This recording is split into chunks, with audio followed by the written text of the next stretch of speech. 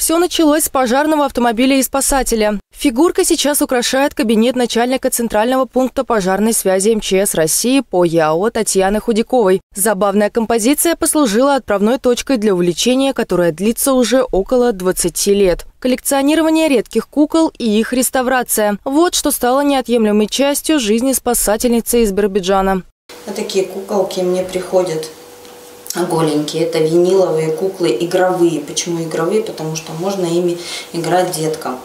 Вот в таком состоянии они приходят, и я их обшиваю. Но личики, да, иногда такие типовые заводские приходят, а этой куколке мне помогала расписывать личико девочка с нашей еврейской области. Уже в костюмах и аксессуарах куклы красуются в форме пионеров и военных в главной коллекционной кладовой. Сейчас на полках более 80 экспонатов, совсем недавно было больше сотни. Хозяйка признается, не только пополнение коллекции, обмен и продажа тоже являются важным элементом хобби. Именно поэтому у нее имеется немало редких экземпляров. Один из таких – кукла БЖД или шаровая шарнирная кукла. Особенности БЖД – то, что они идут соединения у них шариковые и соединены на резиночку. Вот резиночка. Все, ручки, ножки принимает любые позы, как сидя, так и лежа. Эти соединения похожи на, на человеческие. Способность обращать внимание на мелкие детали – действительно полезное качество для коллекционера. Первое, что привлекает в куклах, как говорит Татьяна, лица. У всех они разные, не только строение, но и эмоции, выражение, настроение. Некоторые авторские куклы имеют совершенно незаурядный стиль. Какая должна быть фантазия у автора, то есть, посмотрите, чулочки, да, туфельки, какая интересная фактура пальчиков, личики, какие аксессуары, все до мелочей продумано.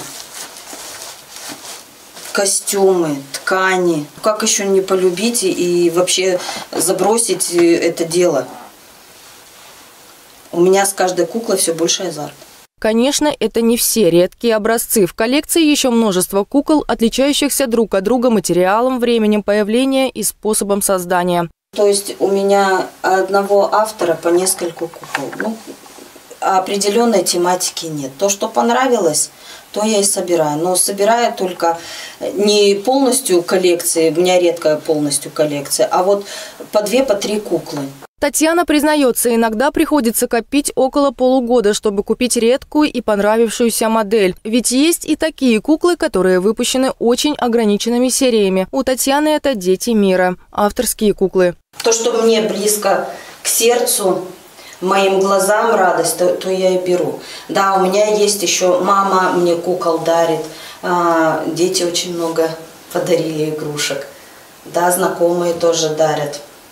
Но в основном вот я сижу на кукольных сайтах, я выбираю, выбираю очень долго. Коллекционер не планирует останавливаться на достигнутом, так как с каждой новой куклой и необычной деталью в ней азарт только разгорается. Екатерина Кувалдина, Кирилл Богаченко. Новости 21.